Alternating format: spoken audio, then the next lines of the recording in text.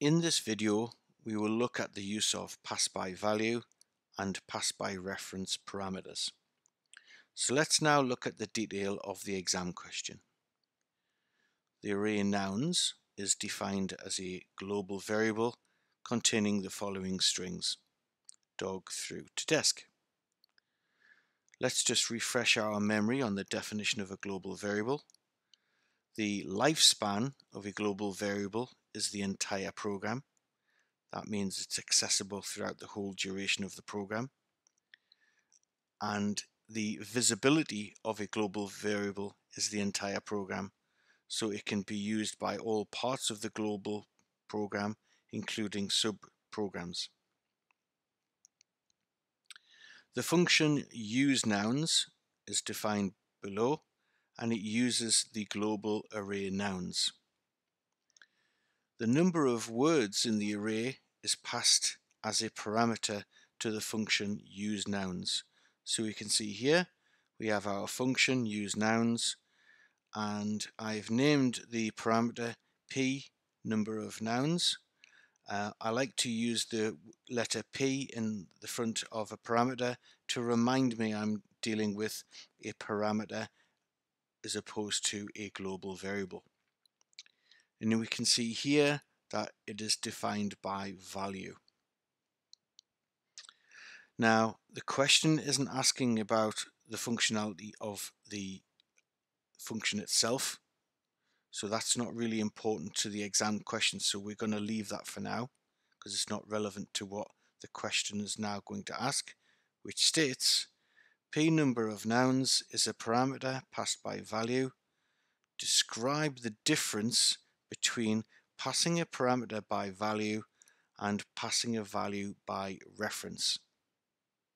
Help promote a nice summative view of the answer to this question, I've broken it down into two major parts, the characteristics of pass by reference and the characteristics of pass by value. Now it's very important that we address both pass by reference characteristics and pass by value characteristics. If this was a two part or a two mark exam question, I would expect one bullet point from the pass by reference and one bullet point from a pass by value. So let's look at the characteristics of pass by reference. The subprogram, whether it be a function or procedure, receives the memory address. This is in RAM or cache RAM. At this point, we're not really bothered about which of the variable. It can make changes to the data within the original. So you're given the original memory reference. So any changes to that memory, the contents of that memory address will change the original data va value.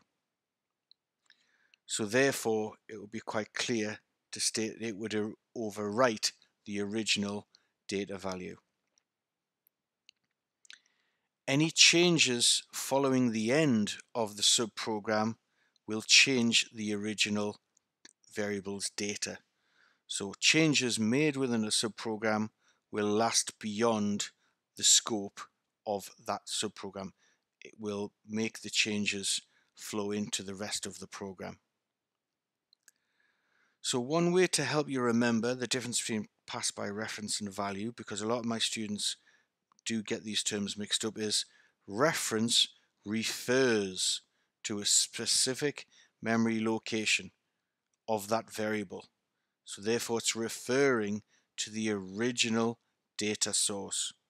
Therefore any changes to an original source will change the original data. Pass by value, very important that people state that it is a copy of the data that is received as a parameter by the subroutine. Any changes will be made to the copy of this variable. No reference is made to the original memory address in, in, in RAM or cache RAM. It will not overwrite the data of the original variable because the address of the original variable isn't given. One way to think of pass-by value parameters as they are treated as a local variable. So therefore they will expire and erase once the local copy is passed to the subroutine. Once the subroutine is finished, the data will be erased. So copies of the contents of the original memory location are given to the subroutine when we use pass by value. Now, I've deliberately used the words subprogram and subroutine interchangeably to get students familiar with both terms. A subprogram or a subroutine, same thing, can be defined as being a procedure or a function. So now let's look at a practical application of pass by value and pass by reference parameters. So within our main subprogram, we have a variable identified as debt with the value of 100 units and a variable called int_rate with the value of 10 units and a simple print statements to output the contents of those two variables. So when we run the program we can see in these two lines that we have the initial debt and the initial interest rate printed out as expected. We then call our subroutine, and in this case it's a procedure called interest because there is no return value. We are passing the interest rate and the debt variables to the subroutine. Subprogram is another word for subroutine. You'll notice that the first parameter is identified as p rate. I like to use the word p in front of my parameters to remind me I'm dealing with a parameter. So in this case, this parameter p rate is defined as being value. So we know that's receiving, receiving a copy of the original data and that our second parameter p debt is identified by reference so we are given the memory location of the original data. We can see here we're doing a simple calculation of a renewed value of debt in this line here and because it's by reference this will change the original memory location's data source. And for demonstration purposes you'll notice that I'm changing the value of p rate, the interest rate. Because this is passed by value, you will find this is a temporary change because parameters passed to subroutines are classed as local variables and their lifespan will expire on the close of this subroutine or subprogram. So let's just look at the two print lines now following the execution of this subroutine. So we have the new debt value. So you can see that that is now increased by the interest rate set.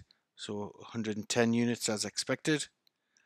And the new interest rate, you'll notice that that has remained unchanged. That's because uh, the change that was made to the interest rate was only made to the copy because it was passed by value within the subprogram interest. When the subprogram interest concluded, this data within the local variable p rate would be erased.